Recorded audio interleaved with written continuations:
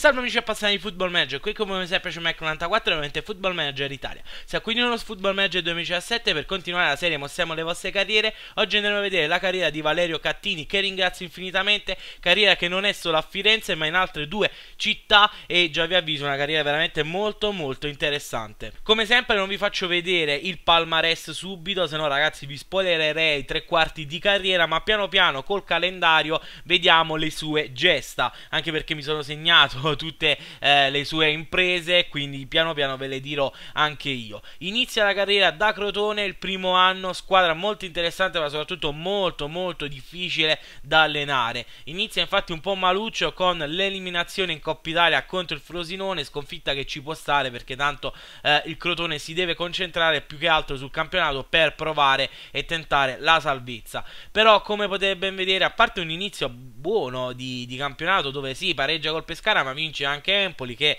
è comunque una diretta eh, avversaria, poi c'è una sconfitta col Bologna, però come potete ben vedere con le avversarie fa abbastanza bene. Purtroppo però ci sono tante sconfitte, soprattutto poi nel periodo ostico che va da novembre, dicembre, gennaio, quelli sono i periodi eh, peggiori. Purtroppo però poi cosa succede ragazzi? Che da febbraio in poi la squadra veramente crolla, possiamo anche dire che non lo ascolta più perché arrivano un filotto di sconfitte assurde con Sassuolo, Samp, il pareggio, Lazio, Juve, Milan, che per carità sono tutte squadre comunque molto molto difficili da battere o comunque anche eh, con cui eh, pareggiare non è facile, però insomma arrivano tante tante sconfitte che sicuramente gli faranno perdere un po' la pazienza, infatti poi se ne va, si svincola ehm, a maggio, il 2 di maggio. Se volete sapere, sono andato anche a vedere poi la storia del Crotone senza Valerio e diciamo che non è molto positiva. Infatti, vabbè, quell'anno va eh, in Serie B, anche se poi c'è stata quella vittoria eh, subito dopo Valerio, ma purtroppo non riesce poi a salvarsi e addirittura ritorna in Serie A solamente quest'anno, nell'anno 2022-2023, vincendo poi appunto il campionato di Serie B. Comunque, dopo poco, dopo nemmeno un mesetto, Valerio per fortuna trova squadra e eh, arriva a Vicenza. Squadra comunque molto interessante da eh, allenare, soprattutto è una buona squadra dopo un, um, brutto periodo insomma con il Crotone. Vicenza che ovviamente non ha fatto eh, l'anno della vita perché comunque non arriva in Serie A però se non sbaglio si è classificato ottavo in classifica arriva anche ai playoff che però perde subito contro eh, la Salernitana. Ci sta comunque bene ripartire da una squadra di Serie B e secondo me eh, da un lato è non voglio dire più facile però se tu parti dalla Serie B hai tutto il tempo di eh, plasmare la squadra a tua immagine e somiglianza e a eh, iniziare a creare un progetto poi valido anche per la Serie A, un po' come abbiamo fatto anche che ne so con eh, il nostro Spezia, che già abbiamo iniziato a eh, dare dei dettami, eh, a costruire una squadra più che altro anche col Wigan che abbiamo iniziato dalla Serie C e piano piano abbiamo migliorato sempre più la squadra, abbiamo eh, insegnato il nostro la nostra tattica ed è andata per fortuna bene quella carriera. E non di meno andrà bene anche questa già ve l'ho detto è veramente una carriera molto interessante. Infatti quest'anno con il Vicenza si viene buttato fuori da Lecce sconfitta che non ci sta tanto perché Lecce eh, in teoria è una squadra di Serie C1 eh, non so di Lega Pro No, vabbè, no, arriva in Serie B. Comunque è una neopromossa. Però poi fa un campionato veramente molto, molto, molto, molto interessante. Grazie alla quale riesce ad arrivare secondo e quindi significa Serie A. Vicenza è da un bel po', se non sbaglio, che non sta in Serie A. Quindi comunque è una grandissima impresa anno 2018-2019 c'è da eh, ripetersi, o meglio da non ripetere l'anno col Crotone, ma ripetere il buon anno fatto l'anno precedente con un ottimo secondo posto in classifica e ovviamente l'imperativo di quest'anno è salvarsi assolutamente. Ci stanno mille mila sconfitte perché comunque il Vicenza non ha un budget fenomenale, ha una squadra eh, relativamente buona, ma nemmeno chissà che cosa. Certo è che il primo anno aveva il mitico Ebagua e solo con lui eh, si poteva vincere tutto. Anche se mi pare che ehm, diciamo che col primo aggiornamento Ebagua sta ancora alla Provercelli, con l'aggiornamento ehm, nuovo sta in prestito per, una, per sei mesi appunto al Vicenza, quindi vabbè, forse manco ce l'avrebbe avuto purtroppo perché sennò con lui sarebbe stato anche um, Champions, stavo vedendo lo Spezia con cui viene buttato subito fuori e devo dire che in Coppa Italia è abbastanza sfigato, almeno eh, questi primi anni, infatti viene subito buttato fuori dal mitico Spezia. Comunque ragazzi non la tiro troppo per le lunghe, campionato comunque molto molto interessante perché siamo col Vicenza, perché comunque siamo eh, una neopromossa. E sì ci sono un boato di sconfitte e un solo pareggio, cosa veramente eh, molto molto strana, però ci sono vittorie molto molto importanti col Chievo col Genoa, col Trapani, comunque tutte eh, concorrenti per la salvezza, col Cagliari, col Frosinone che riesce a battere e a vendicarsi di nuovo Genoa, quindi comunque vittorie molto molto importanti e infatti grazie a queste, soprattutto grazie al filotto finale che riesce a battere poi anche la sua Fiorentina, riesce ad arrivare sedicesimo e quindi riesce a rimanere in Serie A, quindi veramente complimenti, benissimi. Anno 2019-2020 possiamo dire che è l'anno della svolta per Valerio perché a parte inizia benissimo, o meglio, inizia benissimo in Coppa Italia, finalmente riesce a passare il turno. Poi ci sono due sconfitte con due squadre che comunque eh, ci sta a perdere. Poi altre due sconfitte, quindi diciamo che in Coppa Italia inizia bene. E poi in campionato un po' maluccio con quattro sconfitte, ma poi veramente fa un filotto di pareggi e vittorie notevolissimo, infatti fino al 9, anzi scusate, sì, al 9 ehm, di novembre, perché è importante questa data, ora ve lo dirò, riesce a fare bei punti con tante belle vittorie, battendo anche la Fiorentina, Bologna, Sassuolo, Roma, ottima vittoria, veramente non è eh, facile, poi vabbè, pareggio col Frosinone che in teoria ci sta... Mh, mm, più o meno, anche se c'è pure un autogol bastardo eh, Costil, e poi vittoria col Torino, vittoria e poi pareggio con l'Atalanta. Risultati molto molto importanti, questo perché perché arriva la chiamata appunto eh, della Fiorentina, infatti si svincola il 22 novembre del 2019-2020 e arriva appunto poi alla Fiorentina, e, ehm, che comunque non è facile prendere una squadra che sta facendo molto male, e, con un mercato non tuo, con una squadra non tua, quindi... Ehm, diciamo, cambiare passo, ritornare a fare bene, o meglio, fare bene con una squadra non tua, che sta in un periodo di crisi, non è affatto facile. E devo dire invece che c'è riuscito veramente alla grande, facendo un vero e proprio miracolo. Inizia malino perché eh, perde contro l'Udinese, sconfitta che comunque ci sta, eh, sei appena arrivato da due giorni, quindi ci sta a perdere. Ma poi si riprende veramente alla grandissima, vince col CSKA, vince col Cagliari, col Copenaghen, batte la Juve, batte il suo vicino Vicenza 3-0, spero che non abbia esultato, poi il Napoli, poi vabbè ci sono due sconfitte col Palermo e, e la Lazio, ma poi veramente un filotto incredibile di vittorie, quindi veramente complimenti, butta fuori la Roma dalla Coppa Italia, butta fuori la Juventus dalla Coppa Italia con ehm, gol vabbè, fuori casa in Coppa, in, in Coppa UEFA, in Europa League, becca lo Spartak Mosca e butta fuori pure lo Spartak Mosca. In campionato comunque continua a fare bene, sì con qualche sconfitta, ma che ci sta. Poi abbastanza fortunato, becca il Panathinaikos che riesce a battere senza troppi problemi con un risultato complessivo di 5-0. Brutta sconfitta col Pescara 4-0, però ci sta in, Cop- in vabbè, sono fissato in Coppa UEFA, in Europa League becca il Feyenoord che riesce eh, a battere vincendo 2-0 in casa e 3-3 fuori casa in Serie A diciamo che c'è qualche sconfitta di troppo con squadre che eh, si potevano battere senza troppi problemi, ma diciamo che queste sconfitte sono più che motivate perché arriva la semifinale di Europa League contro il Borussia Dortmund che riesce addirittura a battere con un risultato complessivo di 3 a 2, veramente veramente complimenti. E poi arriva la finale di Coppa Italia contro il Napoli, Napoli che l'aveva battuto per ben 3 a 0 in campionato, ma che poi non riesce a eh, diciamo vediamo ripetersi. Infatti, la Fiorentina di Valerio vince la finale di Coppa Italia 4-0.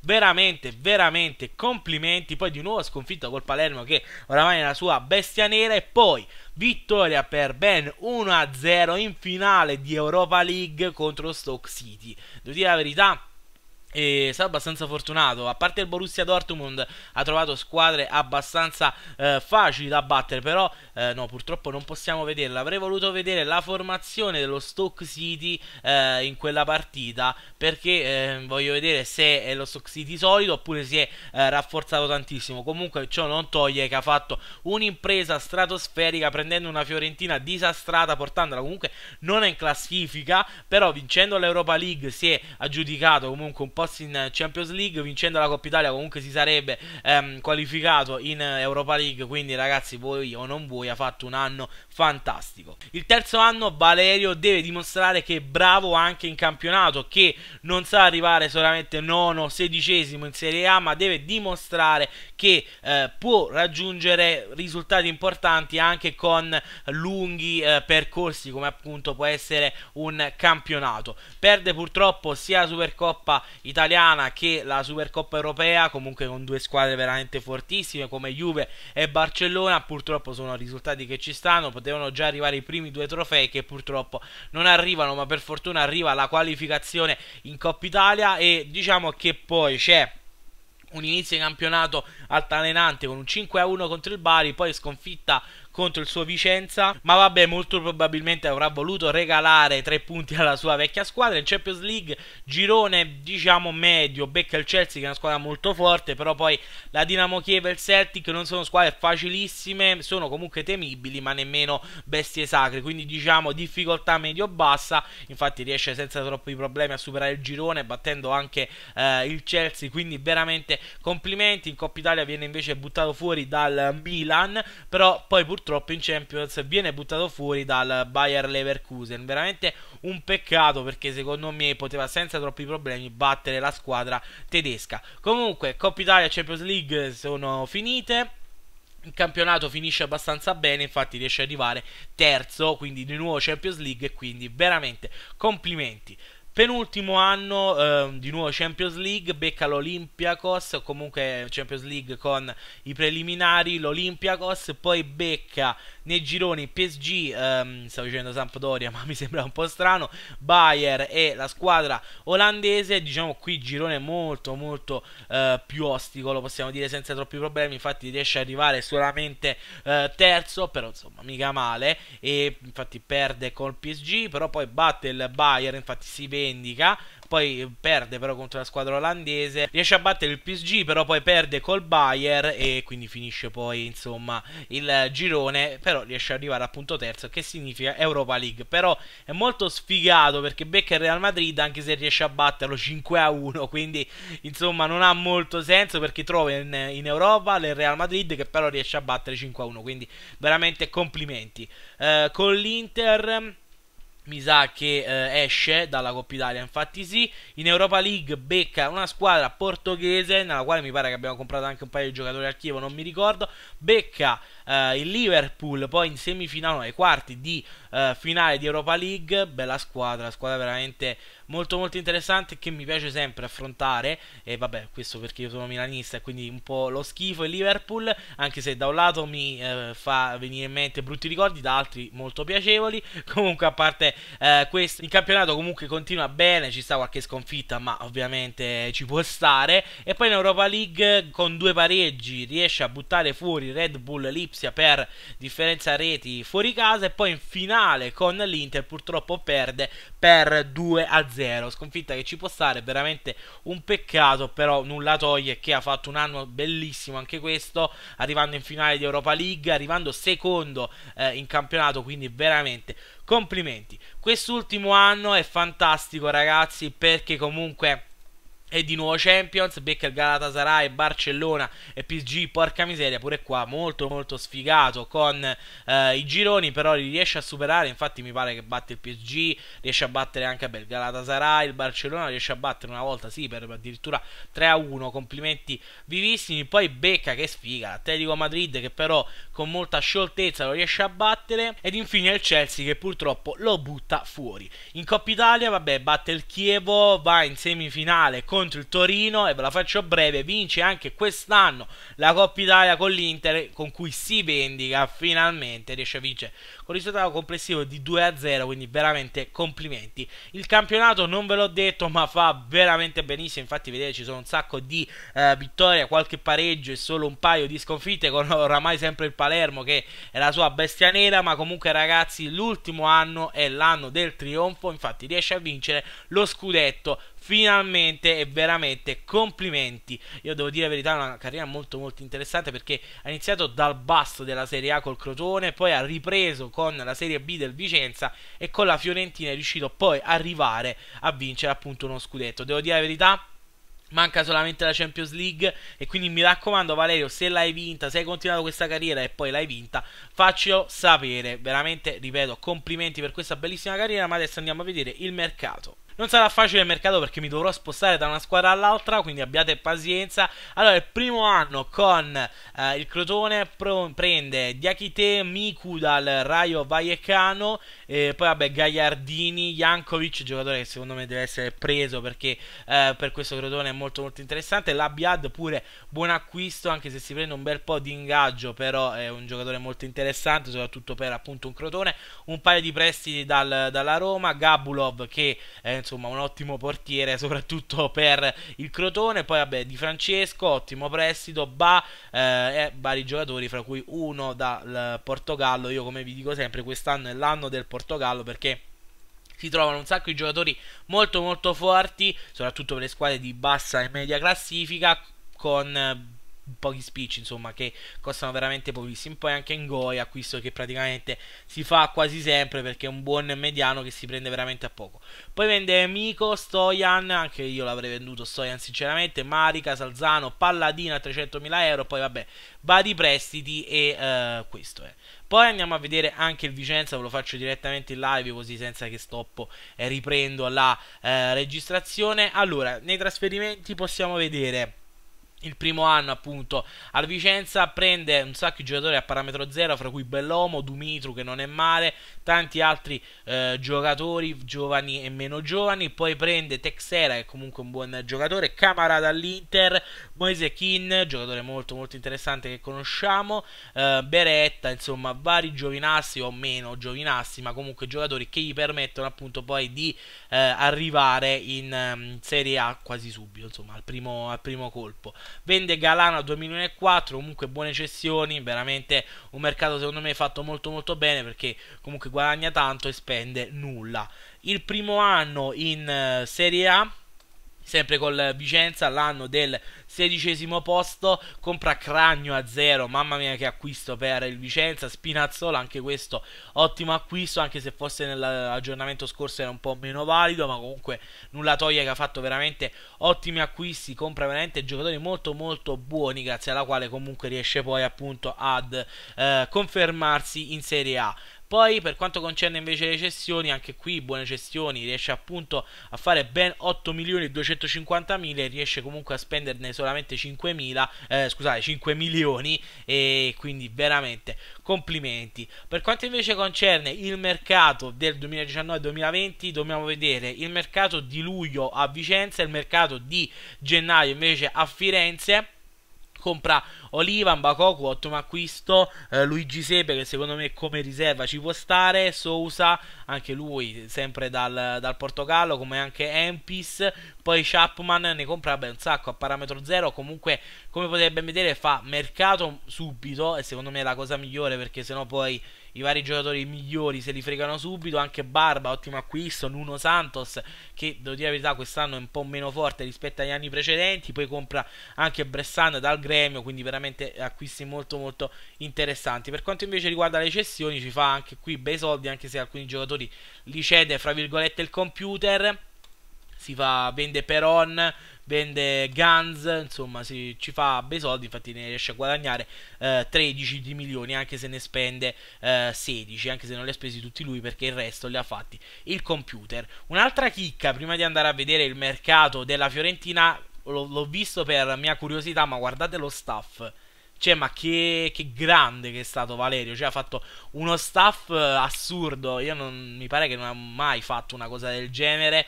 E questo, da questo possiamo vedere la cura dei dettagli di Valerio. E per questo veramente complimenti. Cioè, guardate qua che cacchio staff migliore in Serie A in tutti i reparti. Cioè, cosa molto molto difficile e per la quale io gli faccio i miei più sentiti complimenti perché ripeto io non ho mai fatto una cosa del genere quindi ripeto cura dei dettagli al massimo e quindi veramente veramente complimenti per quanto invece riguarda il mercato eh, andiamo subito appunto 2019-2020 Infatti, come potete vedere, il mercato maggiore lo fa lui. Compra India a 900.000 euro. Ma che cacchio?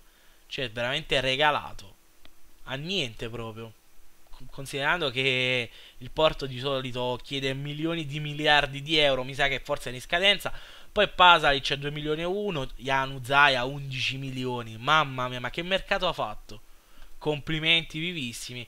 Poi vabbè, altri giocatori, Borga Majoral, eh, Antonov Dembele, insomma, veramente ottimi acquisti. Spende 69 milioni, ma insomma, se la Fiorentina ce l'aveva, perché non spenderli? Bende Badel, vabbè, sarà, era vecchio nel 2019-2020, non è più un giovincello. Cristoforo, insomma, anche qui eh, ci fa bei soldi. Cristoforo non l'ha venduto lui. Kalinic a 2 milioni e 9, ma comunque nel 2020 avrà la sua età.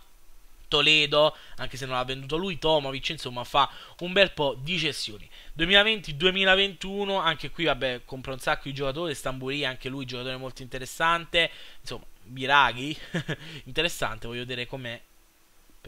Vabbè, non è malaccio, insomma, come riserva eh, ci può stare, Valziana, Reale, Maia, Mancini, Taddei, vabbè, sicuramente ci saranno molti regen, molti giocatori comunque prima giovani, adesso un po' più forti. Ricompa Bernardeschi dal Barcellona a solamente 20 milioni, che figate. Poi Tini Yedvai a 37 milioni, giocatore veramente assurdo, che a me piace tantissimo, uno dei miei più grandi rimpianti perché stava per venire al Wigan, ma poi purtroppo non siamo riusciti a prenderlo. Vende Dembele, ritorna al Borussia per ben 40 milioni. Poi vabbè, Coco Dickman, se non sbaglio, è un buon giocatore, sì, un terzino destro che infatti del Novara.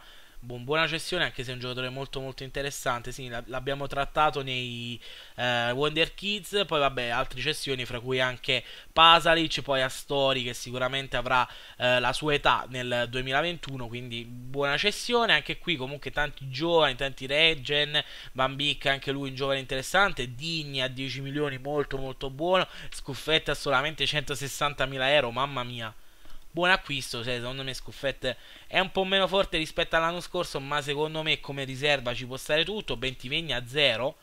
Pure questa è strana come cosa perché un buon giovane, sicuramente per la Fiorentina che è campione d'Italia eh, è meno bravo, però Bentivegni in teoria per una squadra media classifica è molto molto valido. Niang a 45 milioni dalla Roma.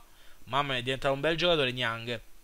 A me non piace tantissimo, però nel 2023 è veramente molto forte. Gabi Gol a 31 milioni, quasi 40, insomma, l'ha comprato a quanto l'ha pagato l'Inter eh, un po' di anni fa ed è diventato veramente un bel eh, giocatore, insomma, comunque ottimo, ottimo acquisti, ha speso un bel po', ma anche ha guadagnato un bel po', infatti ha fatto 130 milioni di utili vendendo Januzaj, Maffeo, Unsain, Ranieri, Bakambu insomma ha fatto un bel po' di gestione Stambuli che l'aveva presa a zero Politano, Mattias Vesino insomma eh, belle cessioni Perisic me, me l'ero perso Perisic ma forse non l'ha acquistato lui?